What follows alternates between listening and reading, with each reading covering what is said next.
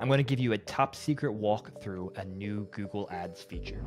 Okay, top secret may be a little bit over the top, pun intended, but this is a brand new feature from Google that is experimental, it's in beta, and it's only available to select advertisers, specifically to advertisers that have Google Merchant Center Next, which is the new version of Google Merchant Center that Google is slowly rolling out across advertisers. The feature is called Google Product Studio, and I'm going to walk you through, do a screen share, show you what it looks like and how to use it because it's really, really cool.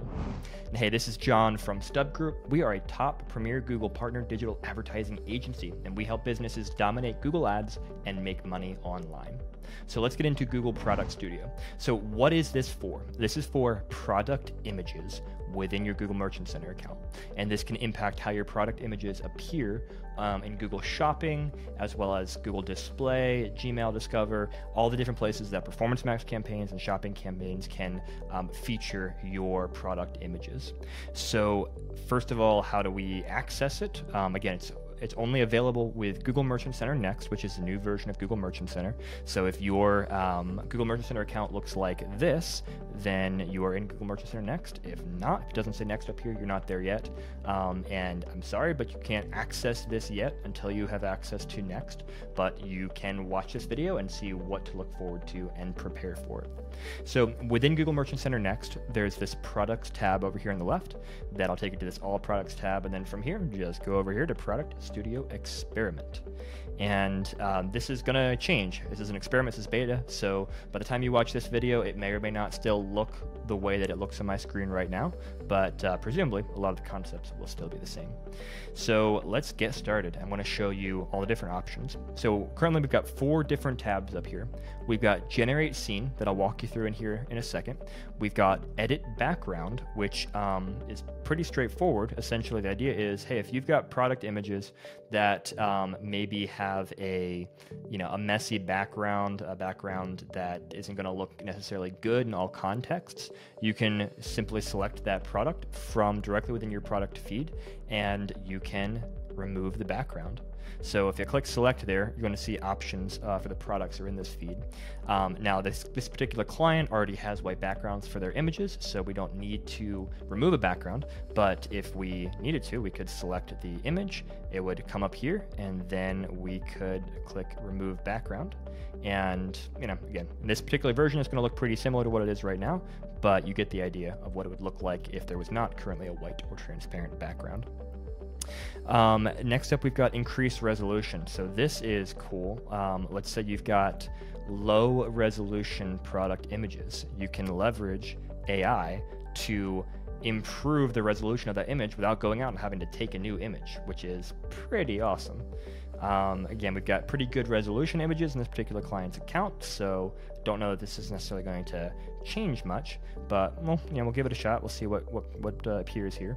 As they say, it may take up to 20 seconds for this to work. And part of the idea here is if you've got images, let's say, that don't meet Google size or resolution requirements, you can fix that and get um, images, or I should say, get products that you currently can't advertise, be able to advertise them because you've improved the resolution. You can see here before and after. Um, again, it started out as a pretty high resolution image, so you don't really see much of a difference here, but you would see more of a difference with a poor image to begin with. Then here, view history. This is where you can see things you've already leveraged the AI for. Um, I'll come back to what this looks like in a minute because this came from the generate scene side of things. So this is where the AI gets really, really fun. The idea is that you can generate unique lifestyle scenes for your product images. In other words, take a, a plain, boring product image and put it into an exciting scene that could look really cool and stand out from your competitors in Google Shopping or Display, etc., and um, and get a click, increase your click-through rate, and maybe your conversion rate as well.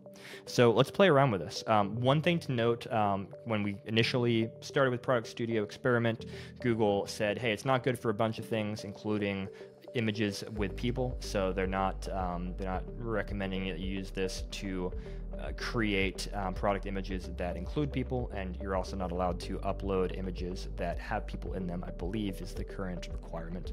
You'll see that option when you initially um, click on the Product Studio button from within Google Merchant Center and kind of start the process. But anywho, let's go ahead and uh, and play with this. So let's select a random image from our feed. And so step number one is to select a product image. We're to confirm, yep, that's what we want to play around with right now.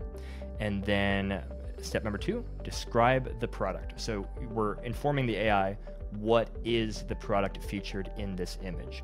And this is a tire. So we're just going to say it is a tire. Um, boom. Next up, we've got describe the scene. So this is where we are going to type what we want to, this picture to look like into the system, and then we'll see what the system comes up with. Now you've got that as an option, so you can freeform type a scene, um, or you can pick from existing you know options that Google has. So for example, let's say we want to put the tire in front of uh, the snow or in the snow with a red background. Let's click on that, and it's preparing the image and we're going to see what this looks like. I've never used this one before, so we'll we'll see what this uh, how this turns out. And it says this may take up to 40 seconds. From what I've seen, it usually goes a bit faster than Google estimates here, um, but um, you know we'll see. All right, boom. So we've got four different options to choose from. We've got this tire in snow with a red background. Uh, we've got some little looks like Christmas trees showing up here, um, different you know shades, and so we could select this and suddenly go from our plain white boring background to ooh hey Christmas. This looks cool. And we could make this seasonal. You know, this could be uh, Christmas, and then, hey, let's change it up for Valentine's. Let's change it up for Easter. Let's change it up for fill in the blank. You could actually play around with seasonally oriented product images without having to go out and take new images of your products or you know pay someone to use photoshop across a bunch of images so that's really cool and you can see what it did here is um, it basically filled in this existing prompt um, but let's go ahead and create our own prompt. So let's go as far away from snow as we can. Let's go to a sunny tropical scene. Let's see what we can do. Um, so um, the tire is sitting in the sand on a beautiful beach um, in front of the ocean with palm trees waving on either side. I've never tried this prompt before. I don't know what this is going to look like, but let's give it a shot. Click regenerate scene here and let us see our options. Again, Google says um, it's uh, you know, working, tweaking, improving image resolution, generating scene, etc. While we're waiting for that, you can see examples that they're giving of looks like some kind of a balm in a bunch of different uh, different landscapes, and you can just see how how interesting it could be to play around with this and to split test and see, hey, what background improves our click through rate. All right, so here's what the system gave us. We've got four different options, um, and yeah, it's kind of silly to have a tire sitting in the middle of a of a uh, beach. I probably wouldn't go with this as the product image, but uh, again, the idea is let's let's see what it looks like. Let's see what it comes out with, and um, yeah, interesting. Got kind of a weird tree there. That one got some interesting stuff. Um, yeah, I mean, we'll play around with this, tweak this, etc. But what I'm looking to show you right now is the opportunities, the options, and they are pretty endless when it comes to um, when it comes to using these prompts to generate different things. And I expect to see this improve dramatically over time as Google keeps improving this feature, as more people use it, as it learns more from data, etc. So this is really really cool. Um, I hope you're excited about it as I am, and uh, go forth and play. And I'd love to see in the comments examples of what you guys put together. Until next time, this is John. Hit that subscribe button for more content like this, and I'll see you very soon.